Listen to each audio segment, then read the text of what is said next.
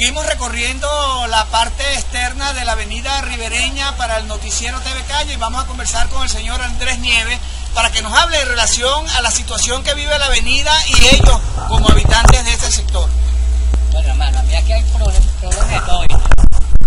Principalmente eh, los problemas de luz eléctrica, que eso falla cada rato, se nos queman los aparatos eléctricos, televisores, neveras, radio, todo nos ha quemado. Y aquí nadie nos responde por, nadie nos responde por eso. La otra cuestión es el agua. El agua llega a media. Son malos días que estamos sin agua que lo que hay. La otra problemática que hay es la inseguridad. Aquí hay mucha inseguridad. Por aquí nunca pasa el gobierno, la policía, nada. Los malandros están armados, porque parece que los arman más para que atraquen más a la gente. Otra la problemática es que por aquí no pasa el aseo urbano. Bueno, imagínate que en Marinas la basura funde toda, toda la ciudad. El alumbrado, fíjate, ustedes pueden observar aquí en, los postes que parece más bien una telaraña, porque como la gente no paga luz, todo el mundo vive en guindado. Y yo no estoy de acuerdo, yo en parte no estoy de acuerdo, somos gente, pobre, pero siempre hay que cobrar la tarifa ya mínima para poder este, recuperar lo que el gobierno invierte en, energía eléctrica y eso, y eso, eso es lo que hace falta aquí porque no le dan mantenimiento, porque para mí la mayoría de esa plata la agarran y no al pueblo lo olvida. La otra problemática que es grave, la otra problemática que es grave es la cuestión de la ribereña. La ribereña la hicieron, la tenían programada primero por aquí, donde yo estoy bonita parado, donde estamos parados, ¿ah? y no sé por qué razón eh, lo sumaron más hacia el río. Fíjense que ya hay un problema que la ribereña la está llevando al río. ¿ah? Y la otra problema, el problema era que tenían que haber, donde hicieron una alcantarilla, deberían haber hecho un puente para que no se, los sedimentos que vienen, pues la mayoría de la gente arriba le echa ramas, plátano, pues, vástagos de plátano, y eso se tranca en la alcantarilla, y eso trae como un problema que la mayoría de los habitantes de esta zona nos aneguemos. Ahorita ya este año nos hemos anegado dos veces, pero ¿para qué uno va la gobernación, que, que a defensa civil, allá, eso es maldad, eso es embuste. Sí, nosotros vamos, pero si nosotros mismos no nos ponemos a destapar esa señora aquí enfrente, esa vive pendiente de que eso no se porque es la primera que se niega, porque está en la parte más baja y todo el mundo se niega. Pues.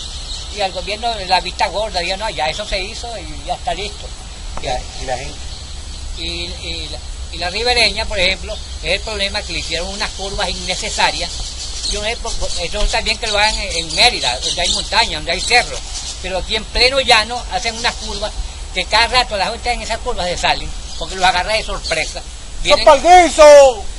Eso es verdad, eso es palguizo, eso es, eso es una realidad. Ahí se robaron una millonada, porque fíjate por donde está aquí, aquí está un terraplén, que no era necesario este, eh, aplicar tantos rellenos que pusieron para la parte de allá que para allá solo inundaba el río, y hicieron un pequeño relleno y más nada. Ahí se cogieron un realero, a mi manera de ver las cosas. Pues. Señor Nieves, y, vemos la mayoría de los ranchos aquí tan solos. ¿Qué, qué ha pasado con esta La mayoría de los ranchos están solos por la sencilla razón que la gente emigrado. La, gente no tiene trabajo, está aguantando hambre, porque aquí llega la cajita, la cajita del clac esa, y eso no durará una semana, una, familia con cuatro o cinco muchachos. ¿ah? Es más, las mujeres ahora han cogido la, manía de que parir más porque le, le den el bono ese de, de, mujer embarazada. Hay tan mucha que la brutalidad es tan grande que se agarran esas barrigas que para que le paguen otro bono. Si no se dan cuenta que a la larga eh, es una carga más para la familia, otra boca más y cómo lo van a educar, que esa es la gran problemática. ¿ah?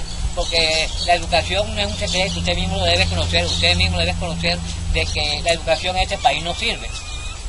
Eso es un fracaso, ni a nivel Mm, este, de, educación primaria, ni secundaria, ni a nivel universitario. Ya a nivel universitario, yo tengo unos nietos que están estudiando y la mayoría de los profesores buenos se han ido porque prefieren buscar futuro en otro país.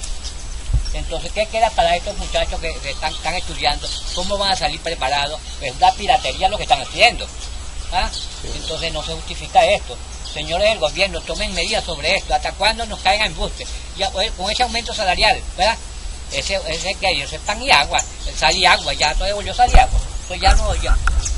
Pues, a Bequita le dieron un bono de 600 mil bolívares. ¿Para qué alcanza eso?